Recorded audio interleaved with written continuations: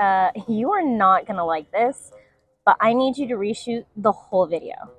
You've got to be kidding me. What's wrong with it? What do you mean, what's wrong with it? You can clearly see you are looking at your script the entire time. You're not looking at the camera. I need you to reshoot it. Just use the eye contact feature in Descript. It'll adjust my eyesight so it looks like I'm looking straight into the camera. Yeah, right. There is no feature that does that. I'm not making this up, there is. No, I'm telling you, there is not. Okay, how about this? I bet you a Frosé that I can actually fix the clip in a matter of minutes using the eye contact feature in Descript, and that way I don't have to reshoot the entire video. You know what? Fine. Deal. Stick around to watch me not only win the bet and score myself a free Frosé, but to learn how you can use the new eye contact feature in Descript so that you can save time and improve the quality of your videos in a matter of minutes.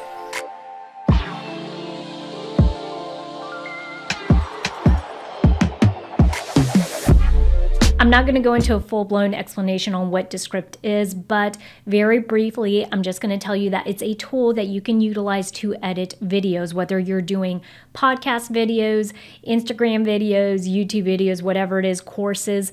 You can edit those here in Descript. And it's a very cool tool because instead of having to edit from the timeline of each one of these videos, it will actually transcribe the video, meaning you could go in and edit from the paragraph or the verbiage. So if you want to splice or take something out, you simply highlight the sentence or the word that you want to take out, and it will clip it for you very quickly. So let me move on to show you where you can find this new eye contact feature within Descript. So obviously you have to have Descript and you have to have the video that you are looking to edit and to adjust the eyesight on.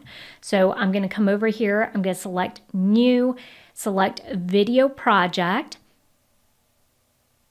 I'm going to title it for this one. I'm going to title Chelsea will lose. Add the file over here.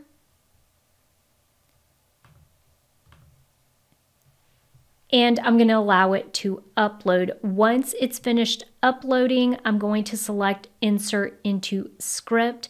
Now, in order for you to be able, hit done, in order for you to be able to use this eye contact feature, you have to select the video. Once it's fully done transcribing, you'll see it's done right here. All of the videos transcribed. I'm going to come over here to the video select it, and then I'm going to come over to effects. I'm going to hit that plus sign and the very bottom, the last selection or option is going to be the eye contact feature. Notice it says beta next to it, which means that they are still testing it out and working on improving it. So that's really great for us. Now let's see exactly how easy it is to use. Notice that my eyesight is pretty well off. it is definitely not looking straight into the camera. And so let's see exactly how well it's going to actually adjust my eyesight for this first pass. So I'm going to come over here, eye contact, and it's applying it. It should take just a couple of minutes in order to do this. Remember that my clip is short, so the longer your clip, obviously the longer it's going to take, but it should do this in a matter of minutes. All right, it looks like it is complete.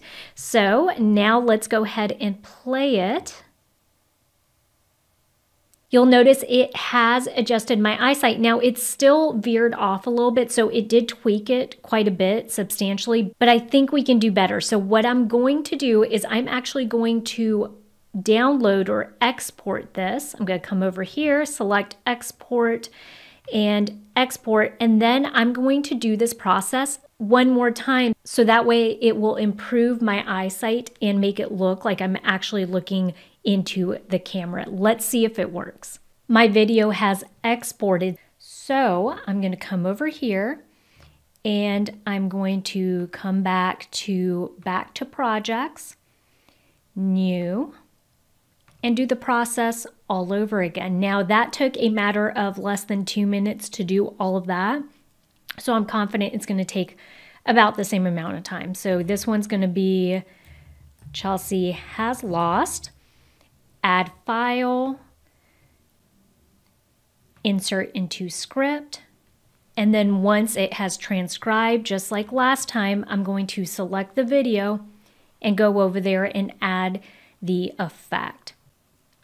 The video has transcribed now. I'm going to come select it, come over here to effects.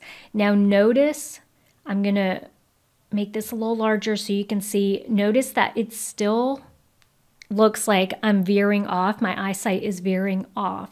So I'm going to select it and add the eye contact effect. It's applying it now. It'll probably take about a minute to finish this. Okay, that actually took somewhere about three minutes, but I can tell that it very clearly did work much better this second pass. But I want to show you very distinctly the before and after with both passes. So this is what the original video looked like. Notice that it's pretty egregious how far off my eyesight is from the actual direction of the camera. And then this is after I used the eye contact feature in Descript the first time. Now, once I downloaded that video, then I re-uploaded it into Descript again and I applied the eye contact feature a second time, and this is what it looked like afterwards. So the video I started out with and the video I ended up with after about a matter of eight minutes. What do you think? How well did Descript actually move my eyesight? Is it something that you would find useful and something that you could use in editing of your videos here in the future? Let me know down in the comments below. I love it when I'm right. Hey, if you're an SOB small owned business, stick around and watch this next video right here. And don't forget to go to our website at www.theseasonedmarketer.com where you can sign up for our weekly emails. Trust me, you're going to want to sign up for those because we share with you every week new marketing news and information as it rolls out. So that way you don't have to spend time tracking this stuff down. Thanks again for joining us, and we'll catch you guys next week, same time and place.